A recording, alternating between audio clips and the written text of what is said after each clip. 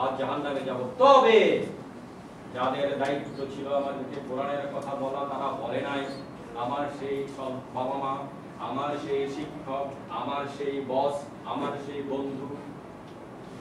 যাদের দায়িত্ব ছিল বলার তারা বলে নাই। তাদেরকে আজ নিয়ে আসো, দুই পায়ে দলিত, মতিত করে, লাঞ্ছিত করে তারপর জাহান নামে যাব।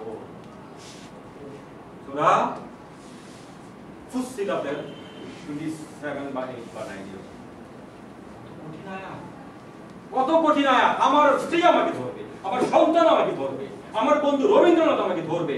এই কারণে শহীদুল্লাহ কাছে কোরআন ছিল।